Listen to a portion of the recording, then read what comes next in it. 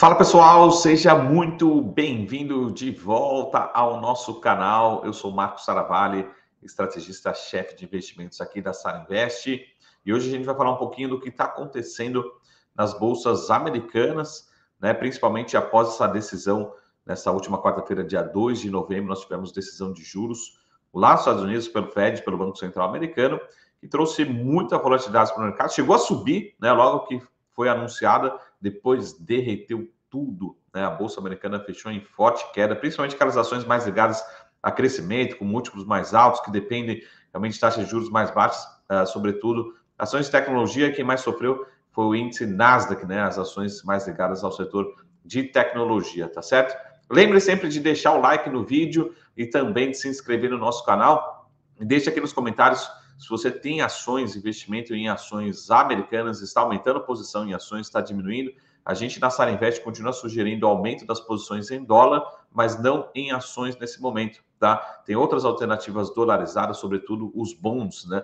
Tem uh, apresentado ótimas rentabilidades, 6, 7, 8, 9% a gente tem conseguido em dólar, uh, com uma rentabilidade muito boa para seus investimentos internacionais, tá? A gente continua um pouquinho mais cauteloso com ações investimentos em ações no curto prazo e a gente vai ver por quê, tá? Lembrando que nesse dia 2 de novembro agora, né, comecinho do mês de novembro, uh, o Banco Central Americano decidiu aumentar a taxa de juros e a gente vai ver essa preocupação aqui desse gráfico do Goldman Sachs. Essas projeções foram feitas antes da decisão uh, do Fed, mas acho que continuam super válidas, super atualizadas, que é a expectativa em relação à inflação, tá? Então esse é o principal assunto. Você entendendo esse gráfico, você vai entender tudo sobre política monetária americana, tudo sobre comportamento de juros e, consequentemente, comportamento dos seus investimentos em ações lá fora, tá? Então, esse gráfico ele é essencial, a gente precisa entender. Então, vamos dar uma olhada em mais detalhes nele aqui. O que, que a gente tem aqui? A gente consegue ver as posições do Goldman Sachs, mostra um lado positivo e um lado negativo. Primeiro, qual que é o lado positivo? Né? A gente tem aqui vários índices, né?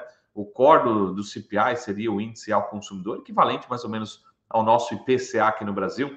O core do PCI também, uh, e outros né, indicadores de inflação nos Estados Unidos, a notícia boa é que realmente a gente pode tá, estar chegando próximo de um pico da inflação uh, nos Estados Unidos. Tá? Então, essa leitura aqui que a gente tem para esse finalzinho do ano de 2022. Então, a gente deve ter sim um arrefecimento da inflação ao longo do ano de 2023. Então, essa leitura que a gente precisa ver nesse gráfico. Qual que é a notícia ruim? Né, que a inflação vai caindo muito lentamente nos Estados Unidos, essa é a expectativa do Goldman Sachs. E mais importante, pessoal, deem uma olhada. O centro, né, a meta de inflação nos Estados Unidos é em torno de 2%. A gente vê que mesmo ali ao longo do ano de 2023, a gente não deve chegar próximo do patamar do centro da meta nos Estados Unidos, o que é muito ruim para a inflação, muito ruim para juros e, consequentemente, um desafio maior para os investimentos em ações, tá? Esse gráfico aqui é muito importante, depois printa né? Imprime ele, cola, copia, cola no seu celular para você entender. Quanto mais rápido for essa queda da inflação, melhor para a taxa de juros, melhor para os investimentos em ações. Quanto mais lento, que é o que mostra as projeções do Goldman Sachs, né, aqui bastante lentas a, as quedas da, do ritmo da expectativa de inflação ao longo do ano de 2023, é pior para a taxa de juros, tá? O que, que aconteceu também recentemente, falando um pouquinho de, de Fed, né? O Fed decidiu aumentar a taxa básica de juros de 0,75, 75 base points do Fed Fund Rates, né? E o patamar agora está em 3, entre 3,75% e 4% ao ano, né?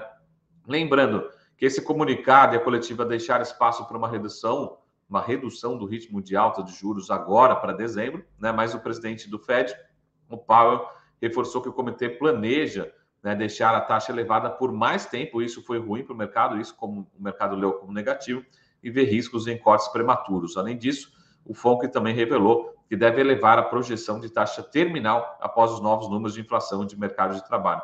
Então, as expectativas hoje no mercado estão rodando ah, numa expectativa de um, um, aumento adicional agora em dezembro, 50 ah, base points em dezembro, 50 base points em fevereiro e 25 base points em março. Né? Com isso, a taxa deve terminar esse ano de 2022 entre 4,25 e 4,5 e batendo um pico uh, a máxima a taxa de juros nos Estados Unidos entre 5 e 5,25%. E também esse é um cenário bom para o dólar, né, para o DXY, para a valorização do dólar em relação a diversas moedas, tá certo? Então, esse gráfico aqui, ele é muito importante entender, uh, porque é ele que vai ditar o comportamento da taxa de juros, da política monetária dos Estados Unidos, é ele que vai ditar as expectativas também, consequentemente, uh, para a S&P 500, para as ações americanas e para a sua decisão de investimentos, tá? A gente continua de novo sugerindo, esperando que um dólar se fortaleça em relação a diversas moedas, sobretudo em relação ao euro. Uh, consequentemente, é importante ter uma posição dolarizada, mas no curto prazo, talvez